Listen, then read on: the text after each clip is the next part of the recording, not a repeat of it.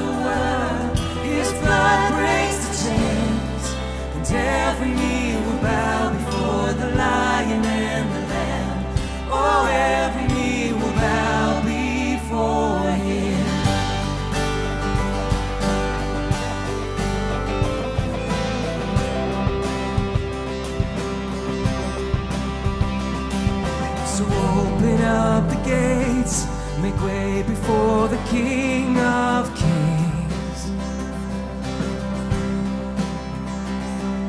A God who comes to save is here to set the captives free.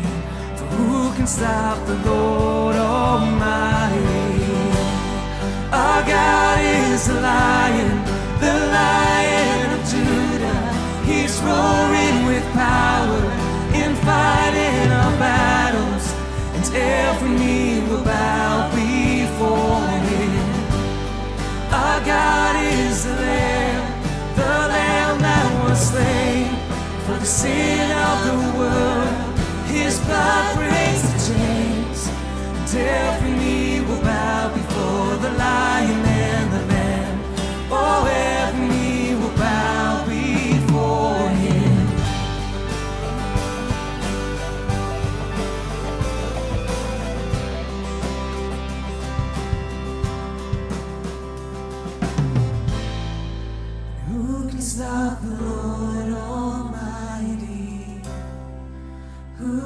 stop the Lord Almighty?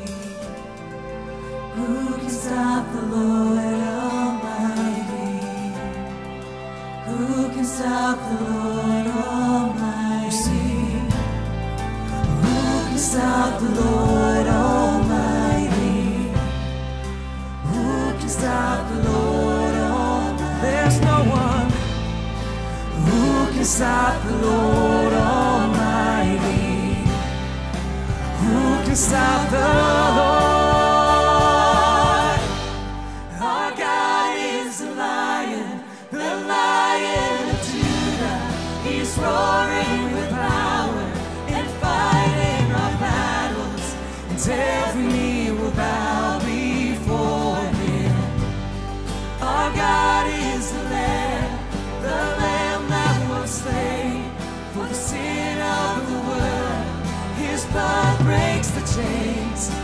every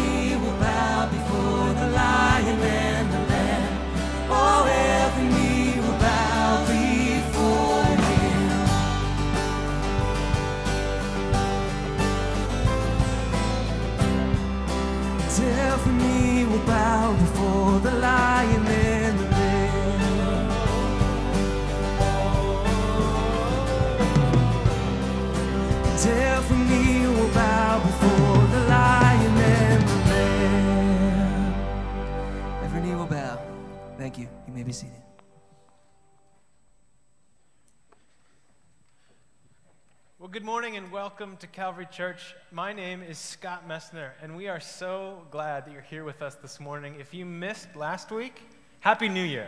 If last weekend you were like really into New Year's resolutions, it's none of my business, but I hope one week later you still are into New Year's resolutions and keeping with them, and everyone has been able to kick off 2017 on the right foot. Uh, at Calvary Church, uh, we know we're a large church. And so, if it's your first time here, or maybe you're one of those resolution people that you're like, I'm going to get back into church, I'm going to start going back to church, we're so glad that you're here with us this morning. And one of the ways that we attempt to help this big church feel like a family is through what we call the welcome gathering.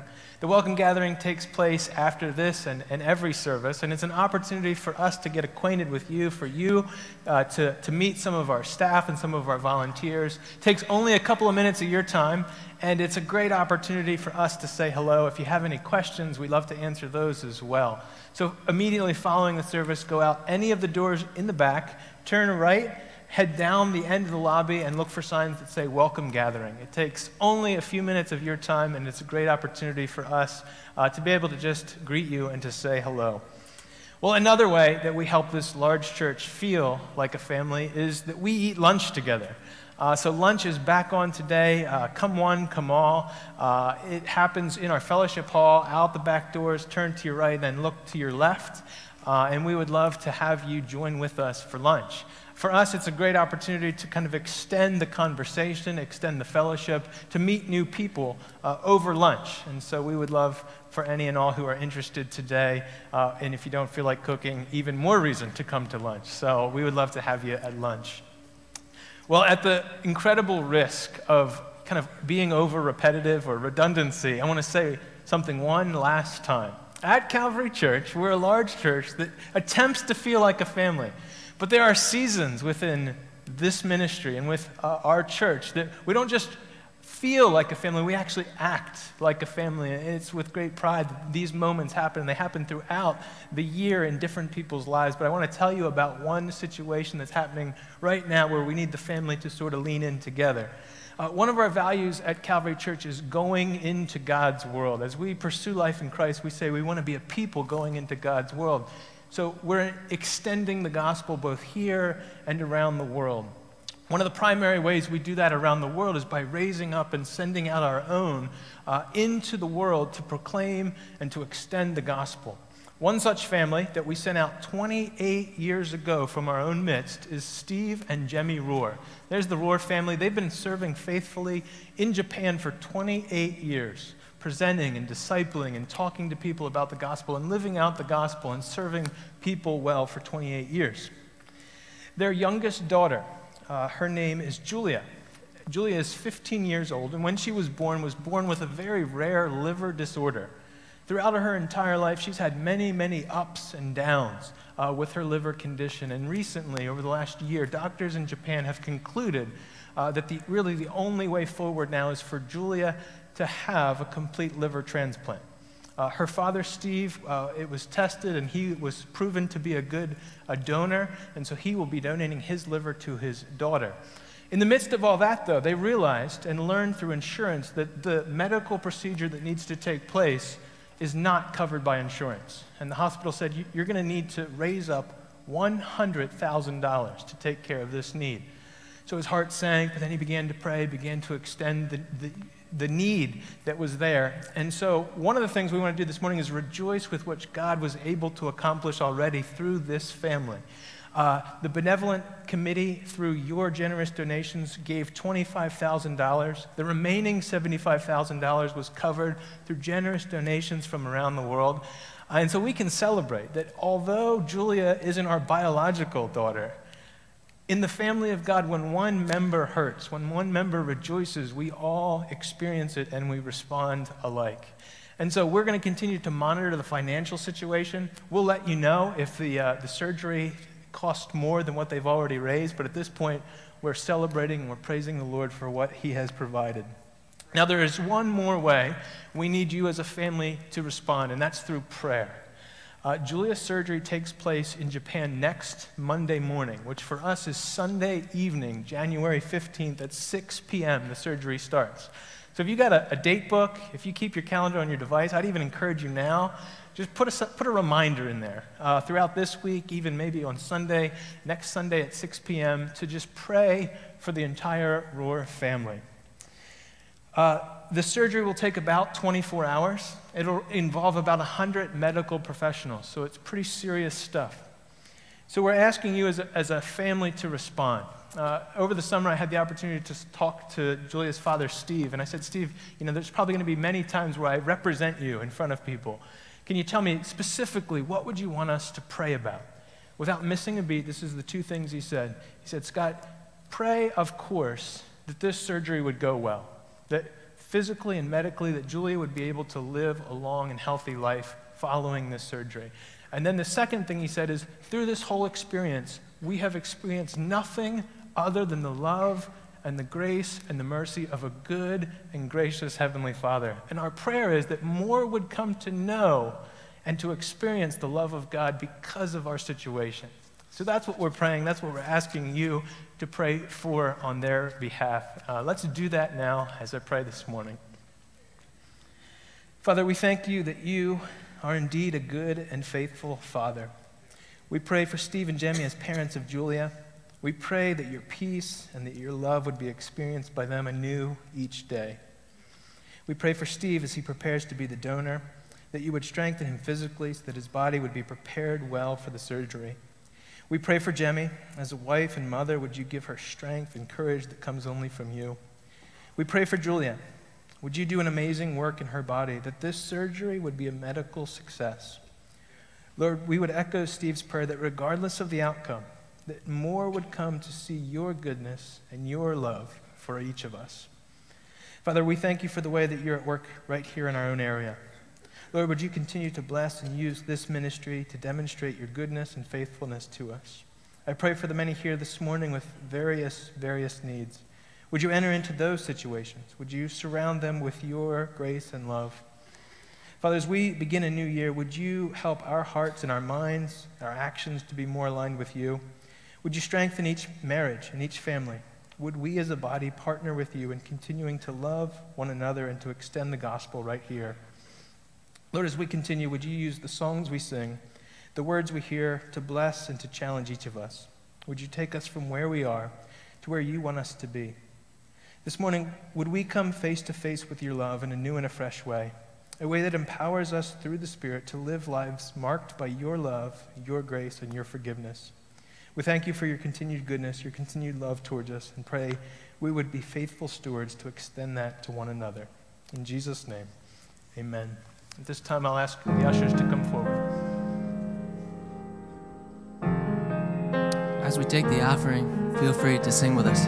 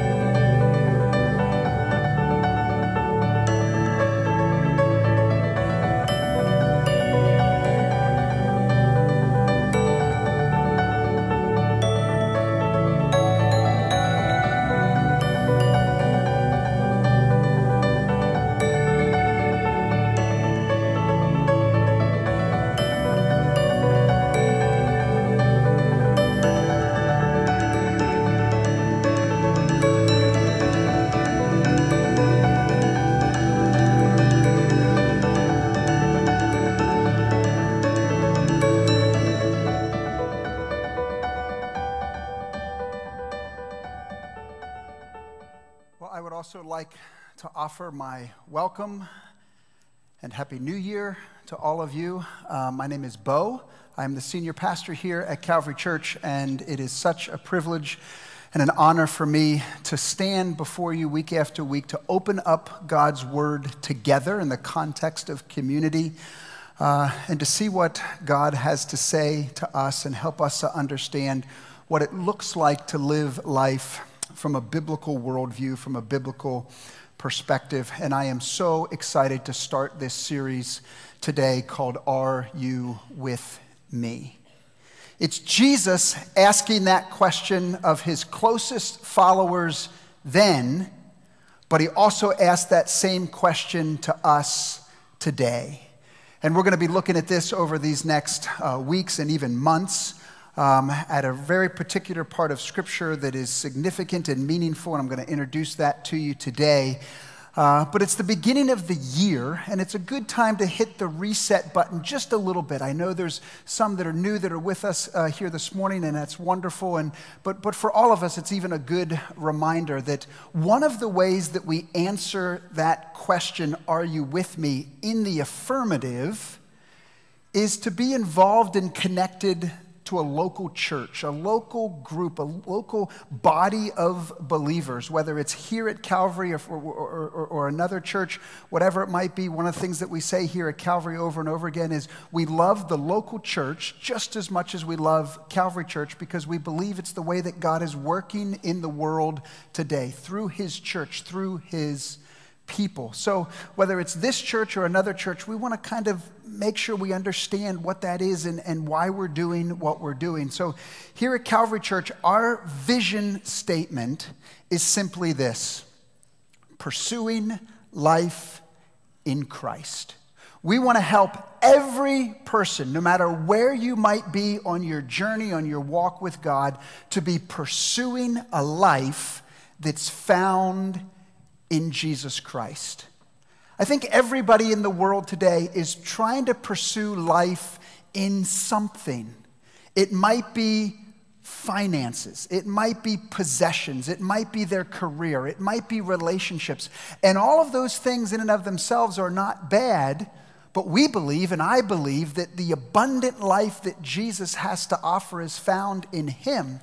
And when those other aspects of life are put in that perspective, they're wonderful things to pursue. But we need to know and to understand what it looks like to pursue life in Jesus Christ and the life that we have that's found in Him and because of what He has done. So, our desire at Calvary Church is to help everyone, no matter who you are, how old you are, what your background is, to understand what that looks like and to help you take what your natural next step would be in that pursuit of Jesus Christ. And we do that by living out our five values. These five values loving God, living God's word, growing with God's people, going into God's world, investing in God's work is foundational to everything that we do, from the nursery the whole way up through senior adults. This is foundational to who we are and what we want to be about. Another way to think about it is like this these five values are the marks or the characteristics of somebody that is pursuing life in Christ. Some people come to me and say, How do I know if I'm pursuing life in Christ? And I come back and say, are you loving God? Are you living God's word? Are you growing with God's people? Are you going into his world? You, you say, Yeah, I, I see doing that. I want to grow in those areas, but that's what it looks like to be pursuing life in Christ. So when we think about why we gather here on Sunday mornings, we gather here all together because we have a desire to come and to do these five values, but particularly that value of loving God. So we come here to Calvary Church 9:15, 11 o'clock for this corporate community gathering of, of God's people. And, and we want people to come and to be a part of this and make this a, a priority in, in what's going on. And uh, we don't divide people up based on their preferences. We think there's value in the body of Christ coming together. We live in a culture that wants to divide us up based on our likes and our dislikes and this and that. We think there's great value in, in the church being intergenerational and all of us, you know, coming, coming here together. And, you know, as a result, um, each week when when we gather like this, we're going to, you know, open God's word. We're going to sing together. This singing that we do looks a little bit, uh, looks a little bit different. And, and, and as you reflect back, I don't know if you do much reflecting the way that I do. I like to reflect back on things and see how they go. When I reflect back on our Christmas series this year, for those of you that were here, I hope that many of you were here for, for the whole month, but if you weren't, I think what we did at Christmas this year was just a great reflection of who we are as a church. The first Sunday in December, choir and orchestra are up here leading us in, in, the, in the songs of Christmas. The week after that, our King's kids, our elementary kids, were up here not performing for us, but leading us and singing. The week after that, we had some guests in, the Gettys, Keith and Kristen Getty, and help us to understand Christmas from an Irish perspective. Then Christmas Eve, man, we sung tons of carols together. It's a little bit more of a contemporary feel to it. Then Christmas Day, we came back and the organ was out and we sang some, some traditional hymns on Christmas. And, and Piercing Word was here, and some of the songs that they did were right from Handel's Messiah. And so when I look at the scope of the month of Christmas, I said, man, that's who we are as a family at Calvary Church, and I just love that diversity. Um, our other value of living God's Word, it's why we open up God's Word in all of our environments. We don't want to just know, we don't want to just memorize, not even enough just to understand, but we want to live out God's Word. So that's why on Sunday mornings we do a series like we're starting today, going through a book of the Bible or, or, or part of a book of Bible or looking at something that's topical to help us to understand how we can live out God's Word. And then, not going to talk about all of them, but there, our fifth value of investing investing in God's work. All of us are investing in all kinds of things all the time. But if we can be investing in what God is actually doing, man, there is great returns on that investment because we're a part of something that's eternal. Let me just give you one small example of why I love the local church and how you all uh, uh, get to participate in this.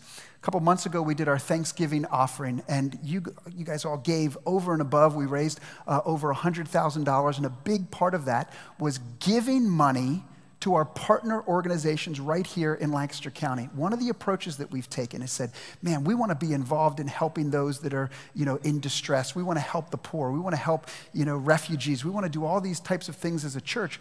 But there's organizations that are already doing that, and really they're knocking it out of the park, doing a great job at that. Why would we reinvent the wheel? Let's partner with them. So I had the privilege of writing uh, a letter to each of these organizations that included a $10,000 check check to each of them because of the giving of all of you and the giving through, through our benevolence fund uh, to, to organizations like Water Street Mission, who's restoring lives through rescue and renewal right here in downtown Lancaster.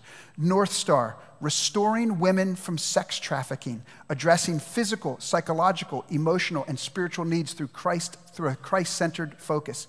Bethany Christian Services, adoption and family services, and they're working with refugees, doing a great, great job. Susquehanna Valley Pregnancy Services, their desire and their goal is to have a salvation full and abortion free region.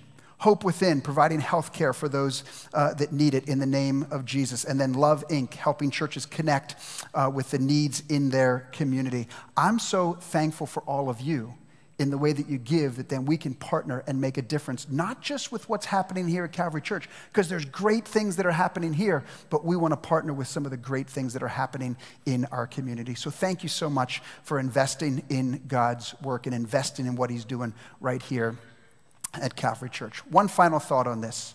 In a few weeks, we're going to have a family meeting. You heard Scott talking all morning about how we're a big church, but we're a family. And from time to time, families get together and have a meeting. I've got four girls, and sometimes I say, Girls, family meeting, and everybody piles and gets on the couch. Um, we're not all going to fit on that green couch, but we're all going to come together on the morning of January 29th in the fellowship hall 8 o'clock or 9.15 still our regular services right here in this room at 9.15 11 o'clock. No abfs that morning but it's a great time to come and to get you know some behind the scenes some insider information on what's happening here at calvary church where we've been where we're going some updates on some of the projects and, and things that are, that are coming up. And if you're newer to calvary church you're welcome to come to that. What a great opportunity to get a glimpse of what's happening and what's going on behind the scenes so some of you are going to say you're going to hear oh, my ABF's not meeting that day. That might be a day that we don't come. No, no. You need to be here on the 29th. Commit to coming to one of those meetings in the fellowship hall. Join us for worship afterwards uh, that morning as well. Uh, it's just a great opportunity to get us all on the same page as we head into the new year. Okay, speaking of being on the same page, today we begin a series entitled Are You With Me? This comes, this statement comes from a, a, time that Jesus is spending with his closest followers. And we find that, you know, some people call it a discourse, that time of teaching in only one of the four gospels, in John's gospel, right? Kind of in the middle of the gospel in John chapter 13. So I want to invite all of you, if you have your Bibles, to open with me to John chapter 13. It's found on page 900 that's in the Pew Bible in front of you. And even though I put the verse up on the screen, and I often do that from week to week, we encourage you, we want you, whether it's on an electronic device or, or you know, paper, you know, book, you know, or the Bible that's in front of you, to open that Bible, to see it for yourself. I'm trying to equip you to, to read and to study and to understand the Bible for yourself. So having it and being able to see it in front of you is a great way to do that. So, you know, so bring your Bibles here on Sunday morning, open with me. Uh, it's a great opportunity to, to, to do that. We always provide an outline for you in the bulletin. At the bottom of today's outline is the next few um, uh, titles and passages in this series. I know some of you like to read ahead so you can see where we're going over these next few weeks uh, as we dig into these middle chapters here in John's uh, gospel. But the first verse of this discourse, the first verse of his teaching, gives us a great glimpse at what's really happening and what's really going on in the context for what we're going to look at over these next weeks. John chapter 13, verse 1 says this Now, before the feast of the Passover, when Jesus knew that his hour had come to depart out of this world to the Father, having loved his own who were in the world, he loved them to the end. This gives the context for this whole series, and we're just going to focus in on this one verse today so that we can really set the stage for where we're headed uh, and be prepared for this series over these next couple weeks. So I'm going to break down this verse for us. Going to do it a little bit in a different order than it's presented here, and I want to start right there in the middle of the verse when Jesus, when it says, "When Jesus knew that his hour had come." When we get to the part in Jesus' life in Jesus' ministry, Jesus understood that his time on earth was coming to an end. He had been with his closest followers. He had been with the crowds for several years, teaching, healing, connecting, relate, developing relationships. But he knew that his ultimate purpose of coming to planet Earth was to end up on the cross and dying on the cross. And what we're about to study over these next weeks is what Jesus discusses and talks about with his closest followers just hours before the end of his physical life here on earth. And it's interesting to me, I just want you to see this. In John's gospel, there's 21 chapters. The first 12 chapters talk about different events and different miracles and different teachings and things that Jesus did in his life. When we get to chapter 13, we're just hours before his crucifixion. So essentially, the second part of John's gospel is all about these last moments of Jesus' life. What that tells me is there's so much significance in what Jesus is going to say and teach in these last moments that John wanted to spend a good bit of time on that teaching. One of the things that he wants his closest followers to know, and I think he wants you and I to know as well, and we're going to talk a little bit more about this uh, today, is the fact that he loved them. The word agape, the deepest type of love, is a favorite word in John's gospel. But in chapters 1 through 12, that word's used seven times. But in the four chapters, the main four chapters we're going to look at, 13 through 17, or five chapters, that word is used 25 times. It's going to be emphasized over and over and over again the love that he has for them. And we titled the series, Are You With Me? because I really think that's what Jesus is saying, and I think it has a double meaning. I think he's saying, Are you with me? Are you hearing me? Are you understanding what I'm saying to you? Are you following me? Are you following my train of thought? But I think it goes deeper than that. I think he's asking and preparing these guys as his death is imminent and upon him. He's saying, Are you guys going to continue to follow me? If you know anything about the life of the disciples, when they were with Jesus and living life with Jesus, they were all over the place. And Jesus is trying to kind of get them on board and get them on mission and get them understanding who he is and what he's about and saying, Are you with me? Now, some of you looked at what I just did and said, Oh, now I get it. Some of you, maybe not. we'll work on that over these next couple weeks. So, one of the things that Jesus is doing is he's closing the doors, he's pulling his closest followers into him, and he's got some very significant things that he wants to say. And we get to eavesdrop on that conversation. And that's what's going to be talked about and discussed over these next weeks. I envision it like this it's like a father or a grandfather, the patriarch of a family, knowing that he's near the end of his life and he pulls the family together because he's got some last things that he wants to share and talk with them about. If you've ever been in that situation, do you pay attention to what's being said? Absolutely. Because it's not trivial things, it's important things that are going to be said.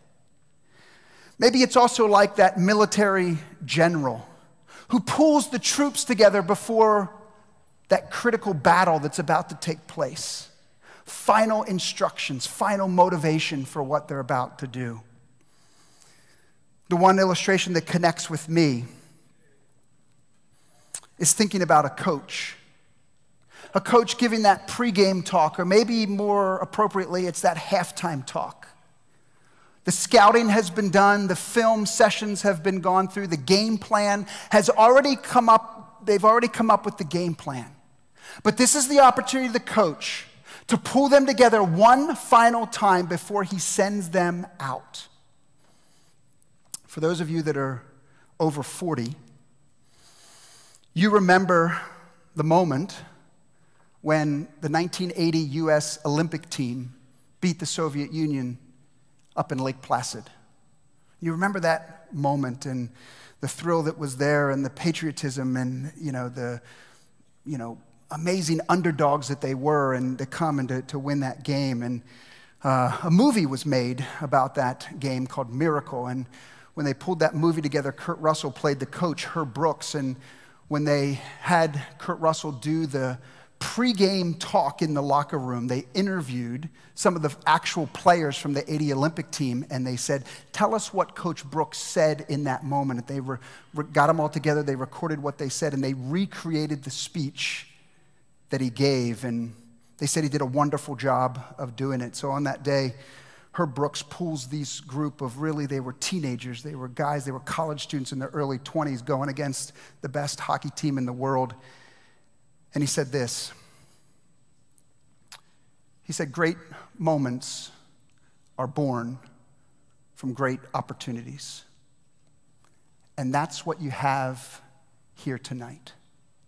That's what you've earned here tonight. One game. If we played them 10 times, they might win nine. But not this game. Not tonight. Tonight, we skate with them. Tonight, we stay with them.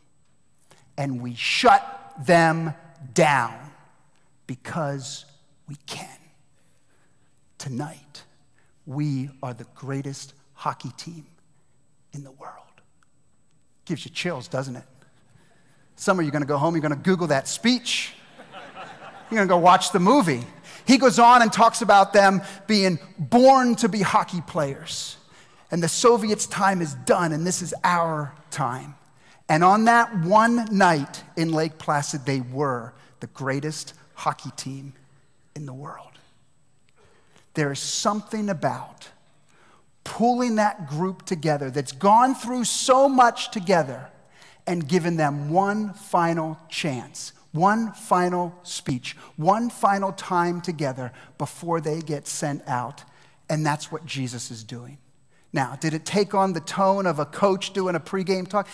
Not necessarily. But it was filled with intimacy, it was filled with passion, it was filled with purpose, and it was filled with mission. And it's going to speak to them about some of their felt needs, some of their disappointments, some of their misunderstandings. It's going to speak to them about what it means and what it looks like to be a follower of Jesus Christ on planet Earth after Jesus dies, is resurrected, and ascends into heaven. And you and I struggle with some of those same exact questions today. That's why I think this series is going to be so important and significant and impactful for all of us as we go through it. So, back to verse 1. Jesus knew his hour had come to depart out of the world. So, he's preparing them for what life is going to be like once he's gone. And then John tells us this having loved his own who were in the world, he loved them to the end. John wants us to know as we look, as the curtain is pulled back on this teaching, one of the things that John wants to make sure that, that we all know is that Jesus loved his disciples and he loves you and he loves us just as much as he loved them. So, as we think about this concept of being loved by Jesus, let me just ask you do you recognize and do you know, and does it actually impact the, your life that you are loved by God and that you are loved by Jesus? For those of us that have put our faith and trust in Jesus Christ, would fall into that category of being called His own. You say, well, if that's not true of me, then, then does God not love me? No, God loves everyone. For God so loved the world that He gave his only begotten Son. He loves the world. But there's an aspect, it's not a, a deeper love, it's just a different love for his own. Let me maybe just illustrate it simply this way. As the pastor, I love Calvary Church. I love the people of Calvary Church. I love all of you. And one of my deepest desires, and one of the things that motivates me as a pastor, is helping and equipping all of you to pursue life in Christ. And I love you, but not the same way that I love my wife. And I think rightly so. Having loved his own who were in the world, he loved them to the end. I think it's a great way to start this series and a great, great way to start the new year. Do you know that you are loved by Jesus? How would it change the way that you live and interact with other people if you were convinced of that fact? So, on your outline, I've got just a couple verses. I'm going to go through them fairly quickly.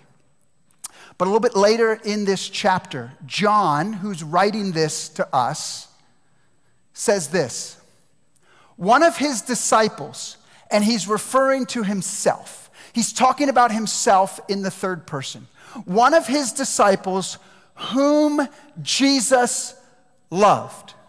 Now, he could have described or referred to himself in lots of different ways. He could have described himself based on his occupation, based on his family lineage, but he chose not just here, but in other places in the gospel, to identify himself by the fact that he is loved by Jesus. You identify yourself in lots of different ways. Do you identify yourself as somebody that's loved by Jesus? Now, I'm not suggesting you introduce yourself to people that way. Hey, I'm Bo Eckert and I'm loved by Jesus.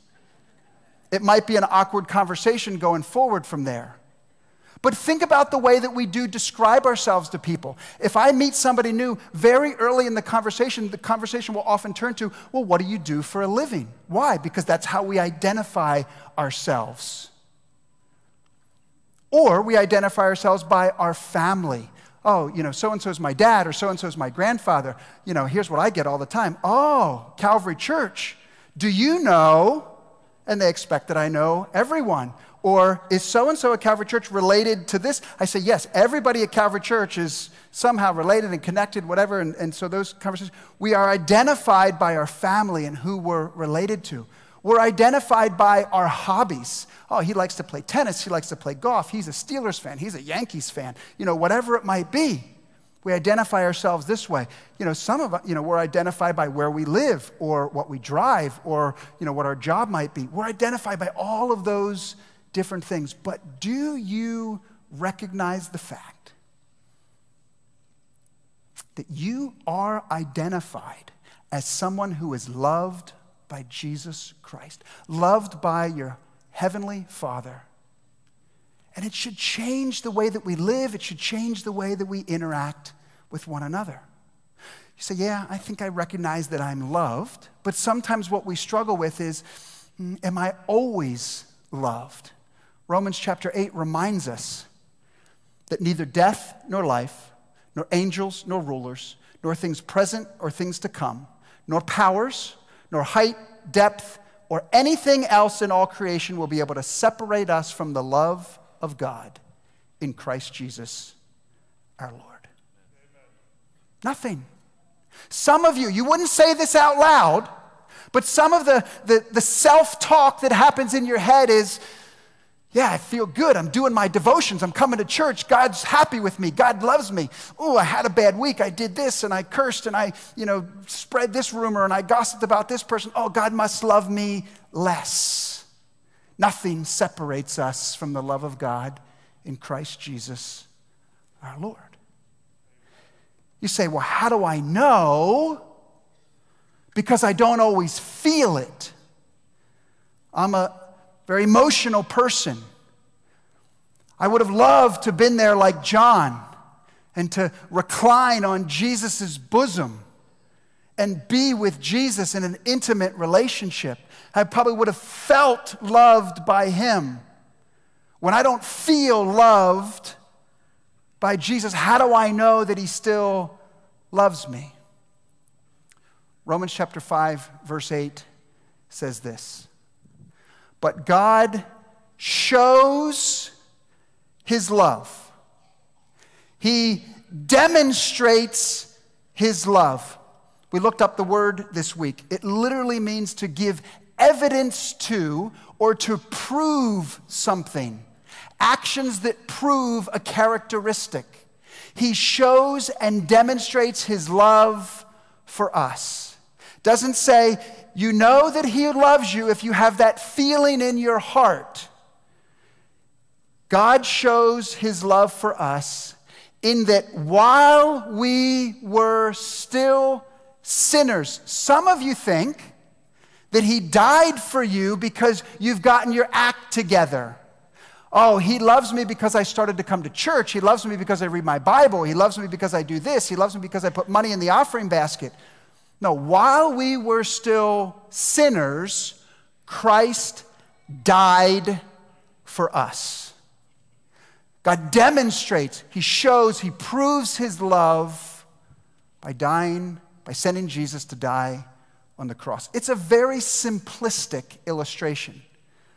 But I've come to my wife, Erica, and I said, What can I do to show or to demonstrate or to help you, to help you to see, to help you to know that I love you? What can I do to, that would show and help, uh, you know, with what goes on around the house with the girls? And I know that things are busy at home and kids are growing up and we have a teenager now and, you know, all these things happening around our house. What can I do? And she's come back to me and she said, If you could make sure that the dishwasher gets unloaded when it's clean, that would get my day started right. There you go. Amen. Now, husbands, that's a great conversation to have on the way home. Even if you just say, if there's one thing that I'm not doing now that I could do that would help and show you, what would it be? It might be as easy as unloading the dishwasher. For some of you, I apologize now because they might give you a whole list of things and I've just ruined your weekend. But it's still a worthwhile conversation to have. She knows that I love her. It's just one of the ways that I demonstrate it, to put it on display, to, to show evidence of the love that's there. He shows us that He loves us, sending Jesus to die on the cross. One last verse. Paul prays this prayer in Ephesians chapter 3 that you, that includes all of us, being rooted and grounded in love. What is your life rooted and grounded in this morning? You may have strength to comprehend, to understand. With all the saints, all of us together, that's why we gather together. It's not an individualistic thing, our relationship with Christ, that we would have strength to comprehend with all of us what is the breadth and length and height and depth, and to know the love of Christ that surpasses knowledge. It's great to have our theological ducks in a row, absolutely. But this morning, do you know that you are loved by Christ? That you may be filled with all the fullness of God. I don't know about you, but I want that to be true in my life. I want to be filled with the fullness of God. I want to be godly. I want to be like Him. What does it look like to be like Him? It's knowing and understanding His love, to be filled up with that so that when life squeezes us, that's what comes out. Notice how this word fullness or being filled is used all over the scripture. Let me just give you two examples. John chapter 1, same author, same book that we're looking at. This is just earlier in his gospel. The Word became flesh and dwelt among us. Jesus pulled on skin, came down to planet Earth, walked around so that we could see His glory, see the essence of who He is. Glory as of the only Son from the Father, full of what? Grace and truth. We see the fullness of God when we look at Jesus. Two verses later. And from His fullness, from the fullness of Jesus, you and I have received grace upon grace upon grace upon grace. When Jesus is filled up, it's filled, he's filled up with grace and truth and love. So that's what overflows to us.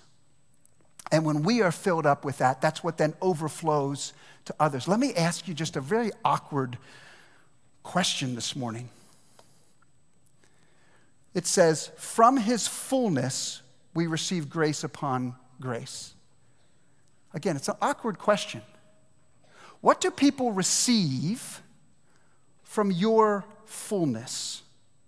From the fullness of who you are, what do they receive? If we are filled with the love of Christ and the grace of Christ, and our life gets squeezed like a sponge, that's what's going to come out. sometimes this isn't a reality for me. From my fullness, you know what sometimes people get? Sarcasm, um, judgmentalism. Not sure that's even a word. Um, critique. List goes on and on. Bitterness, jealousy. Is that what comes from your fullness? Or from your fullness do people receive grace and love and truth? We want to be praying these types of prayers so that we're filled with the fullness of Christ, so that when other people encounter us, that's what they experience. Filled with His fullness. Just one more thought here. Another phrase that we say, and it's not always a good thing, we say, He's full of it. That's not a positive thing when somebody says that about us, and we won't fill in the blank with what we might be full of. But there's something about being filled with the fullness of God that's connected to the love of Christ and knowing and understanding that, that this is what we want to be praying for ourselves, for our kids, for the situations in our lives. Some of us, you know what our prayer lives consist of? Thank you for this day. Help me get through this day. Help me get better because I'm not feeling well. Help me to do this. Help me to do that. Isn't it great when, when Scott stood up here and talked about what the Rohr family is praying for this surgery? Yeah, that everything goes well. It's wonderful to pray those things. But as a result of this, that more and more and more people would know the gospel and the love of Christ. So as you're praying for all those things that you normally pray about, that's great. Just include this type of language with it so that we would know the love of Christ and be filled with his fullness. One final thought from John chapter 13 as we kick this series off. He gives us the context of when this took place. Now, before the feast of the Passover, I'm not going to talk a lot about that today. We're going to talk about it as we get into the series. What's the timing of this, and when was the feast of Passover, and what is it, and what were they celebrating, and what's the day of preparation, and how does all that work with Thursday and Friday and Saturday? And we're going to get into all of that. But just so, again, we understand the context of it all. It's during the feast of Passover that Jesus is gathering his disciples in this upper room. And Passover was a time that the Jews came together to celebrate God bringing the nation of Israel out of Egypt and out of slavery. And Jesus takes the context of that celebration and he says, I'm going to give you something new to celebrate. I'm going to give you something new that you don't understand now, but you will. And he came to them during this meal, and he took bread, and he took wine, and he said, You're going to use this from now on as a tool to remember what is about to happen to me in a few hours.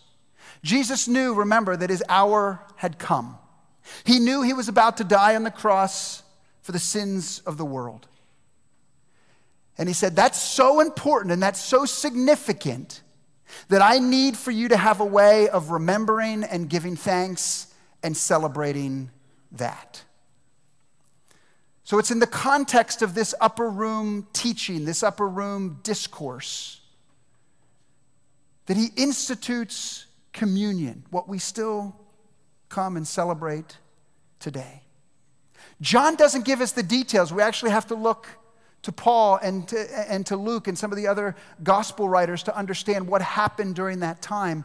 And Luke tells us that this is what happened that Jesus took bread, and when he had given thanks, he broke it and he gave it to them. And he said this He said, This is my body, which is given for you. Do this in remembrance of me. Now, it doesn't mean that the piece of bread actually becomes the body of Christ. But Jesus, knowing that we're good forgetters, gives us a physical, tangible reminder of what he had done for us in dying on the cross. I think it's brilliant. He put something in their hand that they could see, that they could feel, that they could touch, that they could taste, that they could smell. Engaged all of their senses to be reminded of what he did for us on the cross. And then he went on and said this, and likewise the cup after they had eaten.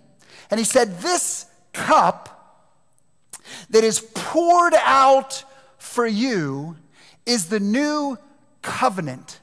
Now, that's a word that we don't often use, but a covenant is a contract, a contract between two parties. And he says, This is the new contract between humanity and between God. This contract is now going to explain to you and help you to understand how the, the separation between man and God is taken care of. And this contract is written, this covenant is written, it's signed in my blood. My blood is shed for you to wipe out and take away your sins. Notice what it doesn't say. It doesn't say that this contract, that this covenant is written in our good works, in our good deeds. No, no. It's written in the blood of Jesus.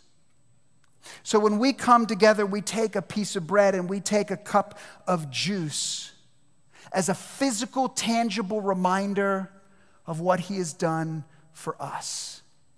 The actual bread and juice do nothing to save us.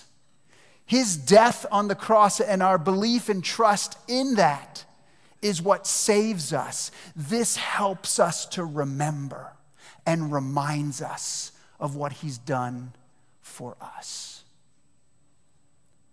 Great way to start this series. Great, great way to start the new year. I'm going to invite the musicians to come and we're going to uh, distribute and we're going to take communion together. As we do that here uh, at Calvary Church, um, I know that there's one, the way that we do it here is we'll distribute the bread and everybody will, will, get the bread and we'll listen to the music and we can pray and reflect and, and, and think it through. And uh, and then after everybody's been served and, and the, the, men come back down, I'll lead us and we'll take it together. And then we'll do the same with the cup. I know there's lots of kids in the room. Parents, I know it's a, a little bit of a, a, solemn time, but it's also a great time for you to do some teaching, do some parenting right there in the pew uh, uh of teaching and helping them to explain and understand what we've done. And um, this is an open communion table, which means you don't have to be a member of Calvary Church to, to, to participate with us today. If you put your faith and trust in Jesus Christ, absolutely, you take this with us. And parents, you know where your kids are and, and, uh, and whether they should participate or not. And whichever you choose there, either way, it's still a great time to talk with them and, and teach them and explain to them uh, what's happening. So, um, so let's bow, let's pray uh, for the bread, and then we'll all be served together. Father, thank you that you made a way, a new covenant, a new contract so that our relationship with you could be fixed, could be repaired, could be rescued, could be reconciled and redeemed.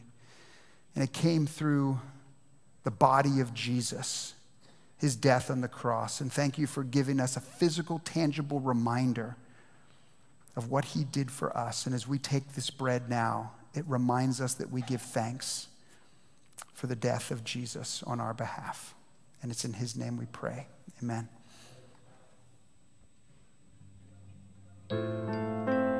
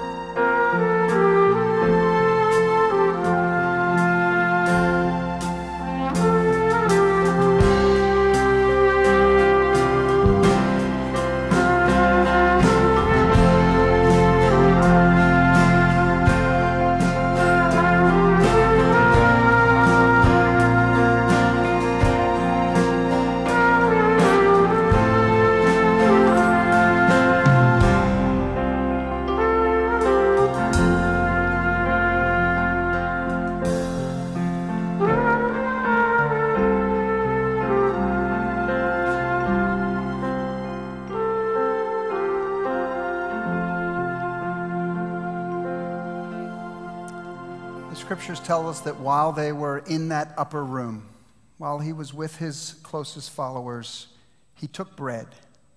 And when he had given thanks, he broke it and he gave it to them, saying, This is my body, which is given for you. Do this in remembrance of me. Let's take and eat together.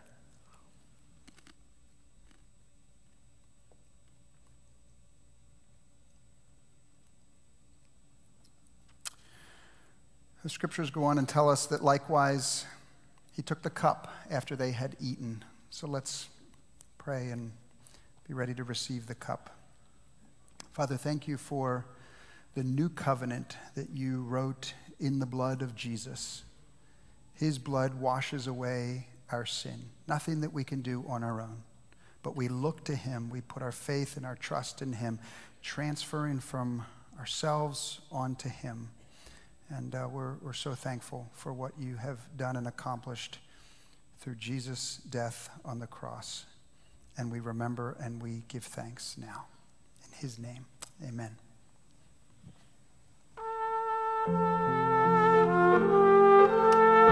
As you're seated, feel free to sing along.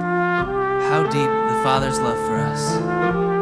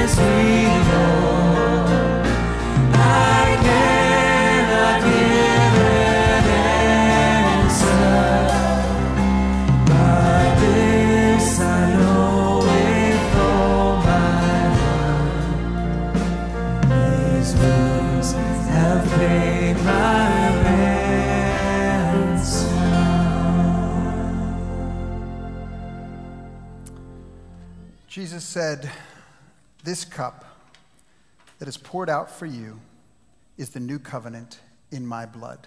Let's take, let's drink together.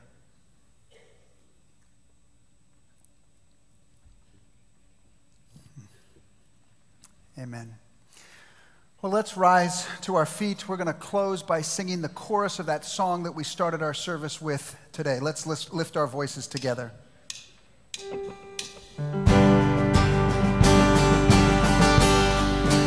God the lion, the lion of Judah. He's roaring with power and fighting our battles. Every knee will bow before him. Our God is the Lamb, the Lamb that was slain for the sin of the world. His blood breaks the chains. It's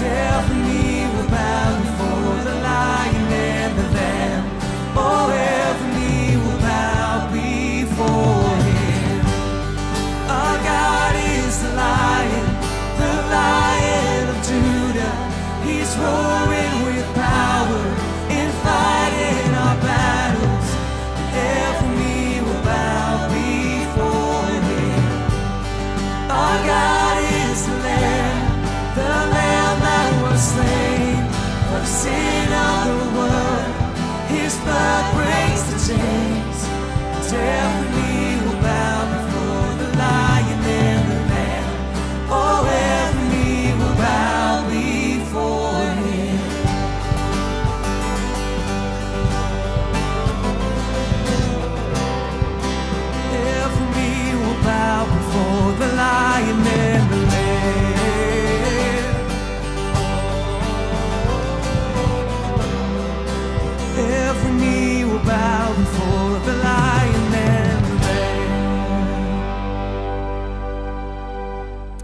Thanks, Drew. What a great, great song that is. I look forward to singing that together over these next weeks and months. Uh, great start to our series. We're so looking forward to jumping in over these next couple weeks on your way out. If you're new to Calvary Church, if you want to connect with us, reminder of the welcome gathering out these back doors down to your right. Love to be able to connect with you. And lunch is served. So if you're interested in lunch, you can head over to Fellowship Hall right now. Uh, God bless you all. Have a great, great day. See you next week.